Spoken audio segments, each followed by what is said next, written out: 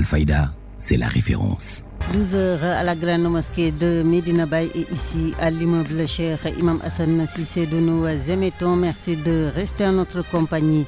Il est 12h également à Léona Niasen et à Léona Kanen. La même heure à Bouchra, Sikhaï Sanya, Bamba, Ratou, Bandorong et Yakao Sarafal. Alpha FM, la référence, vous l'aurez deviné à juste titre. C'est l'heure du journal dont voici les titres. Assainissement en route vers la concrétisation de son projet natal et Soukali. La mairie de Kaulak procède à la signature de convention avec l'UCG. Ceci pour le renforcement des acquis et l'exécution de nouvelles opérations. Santé en conclave à Kaulak lors de la cérémonie de la journée nationale de la biologie. Les techniciens ont réitéré le plaidoyer à l'endroit des autorités pour le renforcement de capacité et le recrutement. Vous les entendrez également au courant de ce JP. Plus au courant de ce JP, nous ferons un retour à l'atelier de restitution des vallées et bas-fonds du projet Proval. CV tenu la semaine dernière à Kaulaka. Voilà pour le sommaire de ce midi à la technique Moussakan. La revue de la presse, la page internationale et sportive, ce sera donc dans la deuxième partie. Restez avec nous tout de suite le développement. Le journal Nefa Toussissé. Un mort sur le coup et un blessé grave. Bilan d'un accident survenu samedi sur la RN1 à hauteur du cinéma Vox. Les conducteurs de mototaxi qui n'ont pas tardé à réagir condamnent et menacent de faire justice, même si de telles actions se répètent, cher Tidiane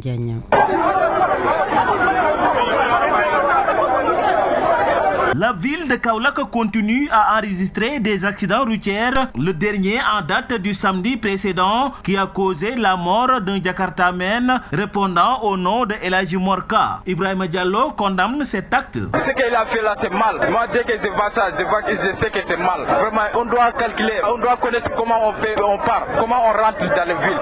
Ici, il y a les virages. Actuellement, ça là, c'est grave. Parce que c'est pas une personne, c'est deux personnes. C'est vraiment grave. Ce qu'il avait couru tout cela, il a rentré ici, il doit faire doucement. Tu sais que dès que tu vois l'accident là, tu connais que ça là, il a mal touché. Donc moi, ce que je veux dire, que les gens, tous les chauffeurs, c'est pas que qui est qui, tous les chauffeurs, dès qu'on rentre, on, on, doit faire doucement, jusqu'à on sort aussi. Tous les gens qui font les Jakarta ici, dès que tu vois ça, ça peut te pleurer. Parce que ça, c'est mal, c'est mal. On voulait même brûler ça, on voulait même casser ça. Sinon, si c'était pas les policiers comme ça, on avait fini de casser ça. Occasion saisie par certains conducteurs de vélo-taxi de déplorer les embouteillages notés ces temps-ci au niveau du centre-ville de Kaulaka qui est souvent source d'accidents mortels. Parce que ici là, c'est les bateaux. Moi, ce que je veux dire, c'est côté des chauffeurs. Dès que vous rentrez dans les villes, il faut faire doucement. J'étais voyagé, j'ai quitté à Congo.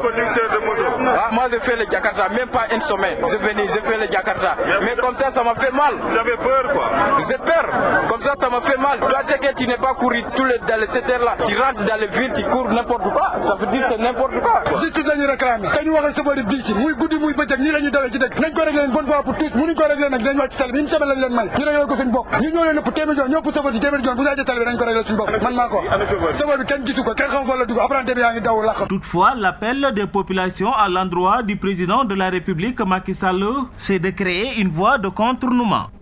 Direction Daro Mourti où un jeune élève a été tué à coups de machette. Le présumé coupable en fuite. Une enquête ouverte par la gendarmerie. Les détails c'est dans cette correspondance de Mamoudou Mustafa Mbaye. Mamoudou Sow, âgé seulement de 13 ans, élève en classe de CM2, a été sauvagement agressé par un jeune qui partageait avec lui un terrain de football à Daro Mourti. Le jeune garçon a reçu des coups de machette au niveau des deux jambes. Les efforts fournis pour le sauver par ses parents ont été vains.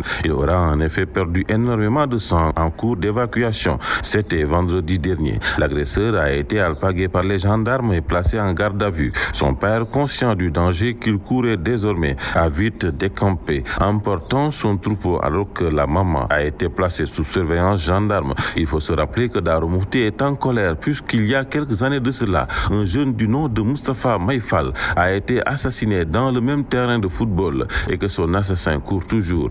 Mamoudou Moustapha Mbaye Darou Mourti, FM. Darou Mourti Mamadou Moustapha où il fera bientôt 12 heures passées de 6 minutes sous peu. La même heure à la pouponnière Lamine Koulibaly de Bongré où les femmes du parti PASTEF sur les lieux samedi ont apporté un important don composé entre autres de produits alimentaires pour les enfants.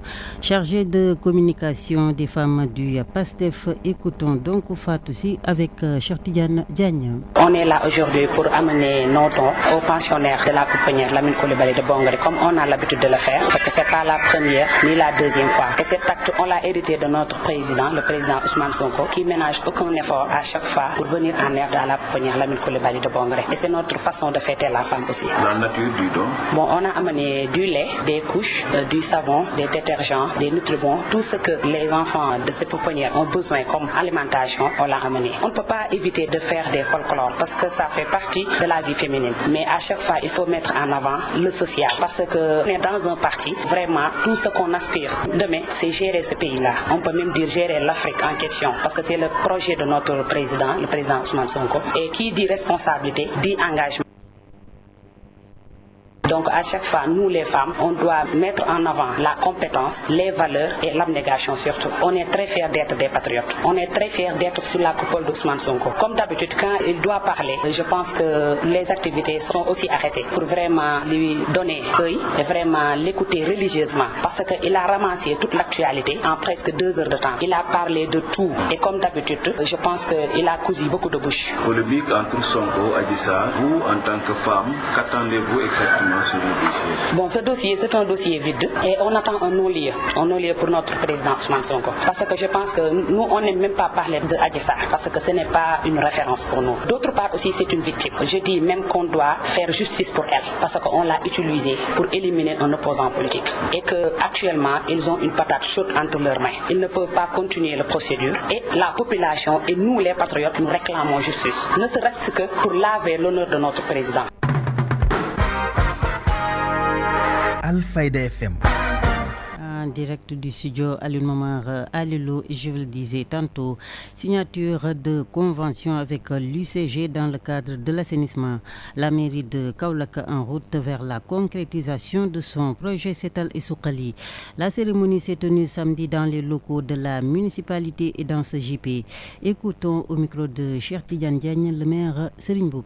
Et un remerciement à UCG qui a répondu très rapidement à notre appel pour pouvoir concrétiser notre qui est Setal et appuyé par son ministre, M. Boulaye Sow, sous la directive de M. le Président de la République, qui lors de l'audience qu'il m'a accordée, il a instruit le ministre de l'Urbanisme pour que Kaolak devient, très bientôt, deviendra une ville propre, dotée d'une bonne qualité de vie. Ce protocole que nous signons, ça rentre bien dans le cadre des missions transférées. Mais nous allons travailler ensemble avec UCG pour que nous allons avoir une unité d'action. Le matériel et le personnel transférés, vous le savez bien que la mairie transfère beaucoup de matériel ou bien du personnel à l'éducation, la santé et les services décentralisés. C'est pas quelque chose. Mais ce qui est important pour nous, c'est que Kaolak soit propre. Donc pour cela, je les remercie encore l'adjoint au maire Madjigen Diouf, chargé de nettoiement et remercier l'ensemble de la population de Kaolak qui ont tous travaillé et nous accompagné euh, pour que nous puissions euh, faire le nettoiement qu'on a fait déjà au niveau de Dar. Et très bientôt, nous allons engager d'autres quartiers et même le marché central et que nous allons continuer pour qu'il ne soit pas uniquement un septétal oublié, ce sera septétal pour toujours. Je te remercie parce que vraiment vous êtes un exemple pour la modernité et ce que vous avez fait au Sénégal. Tout le monde voit le travail de ICG et nous, nous allons porter votre doléance au niveau des autorités pour qu'on vous donne encore plus de matériel. Nous pensons que la propriété est le premier acte du civisme et la première image d'un pays ou bien d'une ville au niveau de ses citoyens, au niveau de visiteurs. De Kaulak Serigne Boupa à la cérémonie de signature de convention avec l'UCG, dont voici justement le coordonnateur national Mas Thiam. C'est important aussi de souligner que dans la nouvelle génération de maires qui viennent d'arriver au pouvoir, si je peux dire ainsi, c'est la première mairie qui s'est manifestée et qui est allée rencontrer les plus hautes autorités, en l'occurrence son Excellence, Monsieur le Président de la République, mais aussi notre ministre de tutelle, Monsieur Abdoulaye Seydou Sow, ministre de l'Urbanisme, du Logement et de l'Hygiène publique, pour solliciter la mise en place de ce partenariat partenariat agissant puisse aller au-delà des activités du Bessuf Satel qu'on a fait ici il y a, il y a quelques jours. C'est vraiment un partenariat structurant de mise en synergie de l'ensemble de nos moyens, aussi bien techniques que humains que financiers, pour améliorer la perception du nettoiement au niveau de Kaola. Donc au niveau de ce qui est prévu, nous avons quelques quartiers cibles qui seront l'objet de tests sur la mise en place d'infrastructures de gestion de déchets, mais aussi la sensibilisation des populations, la mise en place d'activités de tri décentralisées au niveau des quartiers pour créer aussi des emplois pour la jeunesse de Kaola. Bon, vous savez, la gestion du cadre de vie est une compétence transférée. Donc aujourd'hui, même si l'UCG intervient, nous intervenons pour le compte de la municipalité. Donc cette mise en synergie pour nous est importante parce qu'on a constaté qu'il y a quelques centaines de jeunes qui sont déjà aujourd'hui en condition d'emploi au niveau de la mairie. Donc si aujourd'hui ce potentiel humain nous est reversé, ça pourra nous permettre d'améliorer notre productivité au niveau de Kaolack et l'efficacité de notre système de nettoiement. Mais monsieur le maire voit même plus loin parce qu'il souhaite qu'on développe une adaptation de système de collecte au niveau des quartiers, notamment en rapport avec les GIE de quartier, pour nous inscrire un peu dans cette logique d'économie circulaire, de réutilisation, de transformation de l'ensemble des déchets, en particulier le plastique au niveau de Kaolack. L'actualité régionale, nationale, c'est sur Alphaïda FM 90.1. 90.1 www.radioalfayda.net et nous émettons depuis l'immeuble cher Imam Hassan Sissé dans la cité religieuse de Medina Baye. Célébration de la journée nationale de la biologie organisée ce week-end à Kaolak. Occasion pour les techniciens biologistes de porter le plaidoyer pour, entre autres, je vous le disais également tantôt, le renforcement et le recrutement. Nous sommes techniciens supérieurs en biologie qui sont dans les 14 régions du Sénégal. L'effectif total 510 membres. Aujourd'hui, la plaidoirie que nous faisons chaque fois pour les autorités, c'est d'abord un recrutement massif surtout. Parce que pas sans savoir aujourd'hui qu'il y a des techniciens aujourd'hui qui sont dans des zones très reculées, qui sont dans des conditions parfois. On a vu qu'avec les contrats communautaires, il n'y a pas assez de motivation pour ces gens-là rester en brut. Donc la première plaidoirie que nous pouvons faire, c'est le recrutement, surtout au niveau des autorités, qui augmentent le quota de recrutement des techniciens dans ces laboratoires. Le nombre est insuffisant parce que si on regarde aujourd'hui dans un laboratoire, il faut au minimum deux techniciens pour pouvoir valider certains résultats. Donc c'est la plaidoirie qu'on a fait à notre parrain, le professeur Dieu, qui nous accompagner au niveau du ministère de la Santé, de l'Action sociale, mais aussi à la fonction publique pour qu'on recrute assez de techniciens quand même pour, que, pour continuer d'avoir des résultats fiables dans les laboratoires. Pour le renforcement des capacités, d'ailleurs la gestion de laboratoire est là pour cela. Il y a des formations en qualité qui se font dans les régions pour renforcer les techniciens sur certains pratiques laboratoires ou le contrôle qualité. Parce que vous n'êtes pas sans savoir aussi que nous sommes dans un contexte de Covid-19. Il faut respecter les mesures d'hygiène de sécurité, surtout des, des prélèvements pour se protéger contre certaines pathologies comme la Covid-19. Le souhait le plus ardent aujourd'hui, c'est de renforcer la capacité des techniciens qui sont dans la périphérie, surtout. Surtout Sekou Touré, à l'instant président de l'Union des techniciens biologistes du Sénégal, qui s'exprimait samedi lors de la célébration de leur journée nationale à Kaulak, parrain de l'événement, le directeur des laboratoires au ministère de la Santé de l'Action sociale est revenu sur l'importance du laboratoire dans le système de santé. Écoutons-le. Comme vous le savez, surtout avec la Covid, on a vu l'importance du laboratoire parce que c'est le laboratoire qui permet de faire le diagnostic de dire qui a la Covid, qui n'a pas la Covid. C'est le laboratoire permet d'évaluer l'évolution de la maladie lorsqu'on prend un traitement pour montrer que le traitement marche bien ou bien ne marche pas bien. C'est également le laboratoire qui permet de certifier la guérison. Donc le laboratoire est un maillon indispensable du système de santé et l'on a l'habitude de dire que sans le laboratoire, le médecin il est aveugle. Vous savez, pour les laboratoires, il y a des normes, notamment ce qu'on appelle la norme 1589. C'est une norme vraiment pour que les résultats qui sortent des laboratoires soient des résultats fiables. Parce que lorsque le résultat n'est pas fiable, cela pose beaucoup de problèmes aux médecins, mais également aux malades. Mais pour y arriver, il faut faire ce qu'on appelle une amélioration ou bien avoir un programme d'amélioration continue de la qualité. Donc nous, notre mission, c'est vraiment d'œuvrer pour que les résultats soient les plus fiables possibles. C'est ce que nous faisons en travaillant pour avoir des ressources humaines de qualité avec des pharmaciens et des médecins biologistes, avec des techniciens supérieurs en biologie biologie médicale. Nous travaillons également pour avoir des équipements appropriés, les réactifs, assurer la maintenance, enfin faire ce qu'on appelle des sessions d'évaluation externe de la qualité qui permettent à tout moment de nous assurer de la fiabilité des résultats des analyses qui sortent de nos laboratoires. De nos laboratoires, docteur Amadou Mokhtar Djei, et puis autre question évoquée lors de cette célébration, c'est l'urgence ou la nécessité d'implanter dans chaque capitale régionale un laboratoire digne de son nom. Aucun hôpital ne peut marcher sans laboratoire. Aucun centre de santé ne peut fonctionner correctement sans laboratoire. Je disais aussi que lorsqu'on doit construire un hôpital, on doit commencer par construire un laboratoire. Parce que le laboratoire, il est transversal. Sans le laboratoire, la gynécologie ne marche pas, la cardiologie ne marche pas, la cancérologie ne marche pas. Notre souhait et le projet sur lequel nous travaillons, c'est faire en sorte que dans chaque capitale régionale du Sénégal, que nous ayons un très grand laboratoire. Un laboratoire qui fait que les populations de cette région n'auront plus besoin de quitter cette région pour aller ailleurs pour faire des analyses. Toutes les analyses se font dans la région et ce sont des résultats fiables. Également, nous travaillons vraiment pour la mise en place d'un programme spécial de développement des laboratoires qui sera bien financé et qui vraiment nous aide à avoir les ressources humaines nécessaires, les équipements nécessaires, les réactifs nécessaires et assurer la maintenance. Et l'intrant le plus important, ce sont les ressources humaines. Je dis il faut avoir des ressources humaines de qualité. Parce que ces ressources humaines, même s'il y a des manquements, elles vont tout faire pour vraiment combler ces manquements. Et pour cela, il faut un recrutement important, donc des pharmaciens, des médecins biologistes, des techniciens et même d'autres personnels de laboratoire. Mais je parle spécialement de ces deux catégories de personnel, les biologistes et les techniciens. Parce que les techniciens, c'est eux qui sont à la paillasse, c'est eux qui font des activités techniques. Sans eux, le laboratoire ne peut pas fonctionner. Donc nous, nous travaillons vraiment pour le recrutement massif de ces techniciens. Alfayda FM.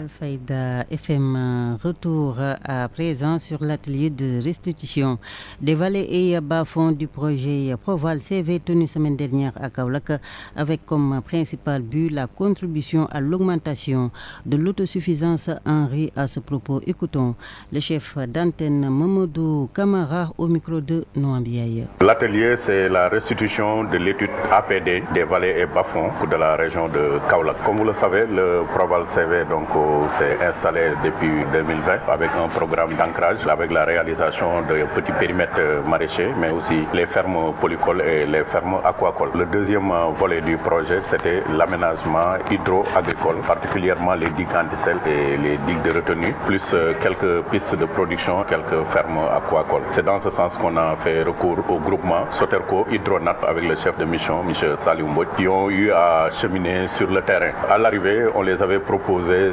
53 vallées bas-fonds donc au site à visiter. Et après prospection et sur la base de quelques critères, un certain nombre donc ont été soutirés de la liste à cause des contraintes d'excès de, salinité ou bien de potentiels conflits entre agriculteurs et éleveurs ou bien d'étroitesse donc de ces vallées. Et à l'issue, c'est à peu près 23 à 25 sites qui ont fait l'objet de cet APD en termes d'études pédologiques, d'études agroéconomiques, environnementales, mais aussi de conception d'aménagement. C'est ce qui permettra véritablement d'aménager à peu près 800 hectares donc au niveau de la région de Kaolek pour un coût qui va aller entre 3 et 4 milliards durant ces deux années à venir 2022-2023 jusqu'en 2024 Inch'Allah. Inch'Allah, Mamadou Kamara, le projet Proval CV, un grand atout pour la région de Kaulaka, a indiqué lors de cet atelier de restitution. Le chef d'antenne qui liste les acquis, d'où le caractère concret du projet, a-t-il déclaré Réécoutons-le.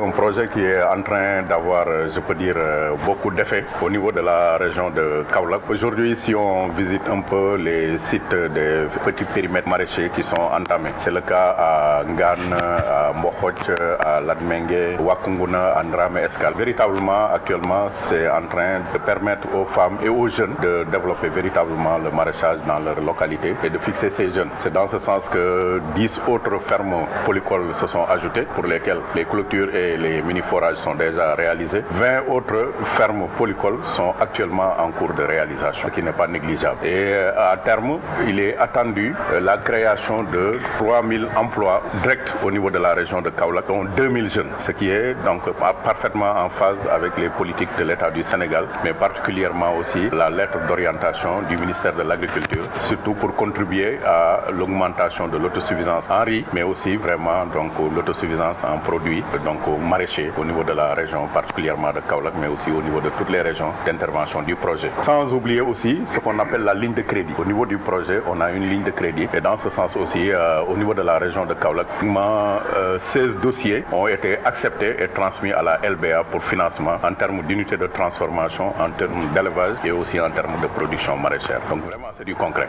C'est du euh, concret. Et lors de cet euh, atelier, le DRDR de Kaulak n'a pas dit le contraire.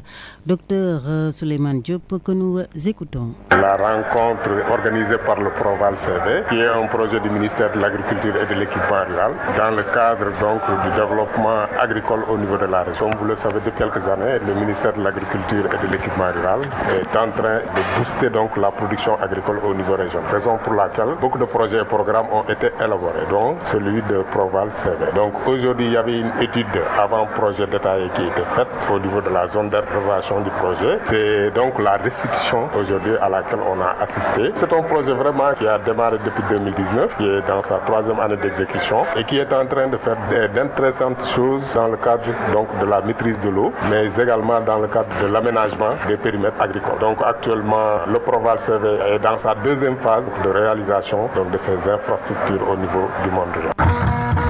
Actualité internationale.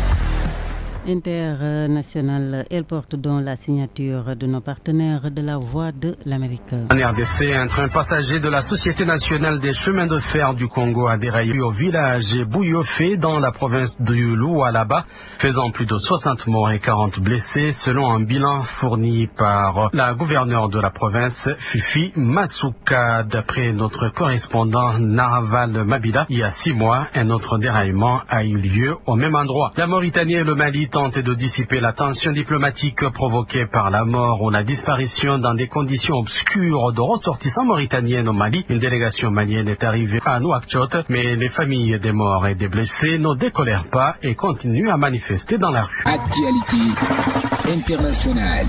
Le général Laurent Michon, commandant de la force française Barkhane, a déclaré vendredi à Ouagadougou qu'il n'y aura absolument pas de redéploiement au Niger de cette force qui est en train de se retirer du Mali. Le chef de la force Barkhane a par ailleurs annoncé qu'outre les soldats français présents au Mali, les contingents italiens et suédois vont rentrer en Europe. La junte au pouvoir au Tchad, depuis la mort du président Idriss Déby Itno, tué il y a dix mois au front contre la rébellion, entamait dimanche au Qatar des négociations longtemps retardées avec plusieurs groupes rebelles. La junte au pouvoir en Guinée a annoncé la tenue d'assises nationales à partir du 22 mars, six mois après le coup d'État qui a renversé le président Alpha Condé après dix ans de règne. Le communiqué issu du Conseil des ministres et publié tard jeudi soir, le gouvernement ne donne aucune précision sur les résultats attendus de ces assises nationales, sa durée et les participants. Au moins 17 civils ont été tués dans de nouveaux affrontements tribaux au Darfour, a indiqué vendredi un responsable dans cette région de l'ouest du Soudan, régulièrement endeuillé par des disputes pour la terre ou l'eau. CDC porte à une quarantaine le bilan des morts en une semaine de combat entre tribus au Darfour. En Libye, le premier ministre désigné par le Parlement Fatih Bachaga a annoncé le retrait de groupes armés qui avaient pris position à portée de Tripoli. Ces groupes étaient positionnés pour le soutenir face à l'exécutif en place. Actualité internationale. Au moins 750 civils ont été tués ou exécutés entre juillet et décembre 2021 dans deux régions du nord de l'Éthiopie où la guerre fait rage depuis 16 mois, selon un rapport publié vendredi par la Commission éthiopienne des droits humains. Il y a plus d'hommes que de femmes en Côte d'Ivoire, selon les résultats préliminaires du dernier recensement national conduit fin 2021 qui montre l'urbanisation galopante. Alors que le pays compte 28 millions d'habitants, 20% se concentrent dans sa capitale économique, Abidjan. Un nouveau cyclone qui a frappé vendredi le Mozambique avec des vents très violents a fait au moins 8 morts dans la province de Nampula, a-t-on appris auprès de l'Institut national de la gestion des risques liés aux catastrophes. L'actualité sportive. De la baie vitrée en nu studio la page sportive de ce JP. Une signature de Moussa Kane. Bonjour Randaï Fatou et bienvenue dans cette page sportive que nous ouvrons avec la Ligue Pro sénégalaise. 13e journée de la Ligue 1. Gorée s'est incliné devant Djambar 0 contre 2. Djambour de Louga et AS ont fait match nul 1 8 partout. Guédiouat Football Club s'incline devant Casa Sport 0 contre 2. Bourg Petite Côte perd devant Génération Foot 1 contre 4. AS Tenguetche FC et AS Pikin ont fait match nul 1 8 partout. Dakar Sacré-Cœur, les guerres de Saint-Louis, match nul blanc 0 8 partout. Ce soir, à Magnon Soumaré, à 16h30, Celeps Excellence reçoit Jaraf de Dakar.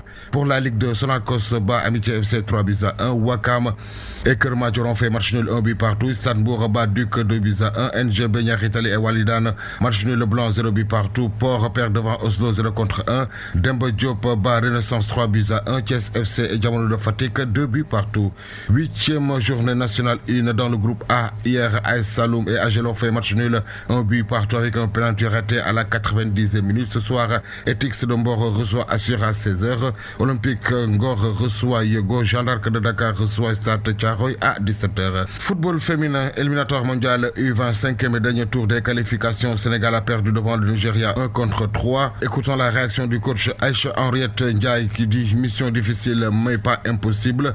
Aïcha Ndiaye au micro de la fédération. Bah écoutez, ce qui n'a pas marché, c'est juste qu'on a eu des, blessés, des filles qui sont, qui sont parties à l'infirmerie. Et aussi, ça nous a coûté un peu cher parce qu'on voit au niveau du milieu, on avait du problème par rapport aussi au niveau des excentrés aussi. Parce qu'on avait, on a quatre blessés, blessés qui ne sont pas aptes et néanmoins, au retour, on va s'y rattraper avec ces derniers. Oui, on est contente parce qu'aujourd'hui, vu que l'entraîneur adverse, euh, nigérien, a eu à dire que c'est pas une équipe petite qu'ils avaient en face d'eux, ça se voit. Elles ont beaucoup étudié par rapport à notre aspect, notre cursus et notre parcours. Parce qu'aujourd'hui, on a eu à éliminer l'équipe marocaine qui n'était pas si possible ni facile. Il y avait des gens qui se croyaient même pas, mais nous, on se croyait parce qu'on a eu à battre cette équipe. Et maintenant, ce qu'il faut faire, c'est essayer de dire aux filles que rien n'est fini. En Europe, 28e journée, Ligue 1, PSG bat Bordeaux 3 buts à 0. Clermont Foot perd devant Lorient 0 contre 2. Strasbourg bat Monaco 1 but à 0. 29e journée, Prime League en Angleterre, Leeds United bat Norwich 2 buts à 1. Southampton perd devant Watford 1 contre 2. Chelsea bat Newcastle 1 but à 0. 28e journée, Liga espagnole.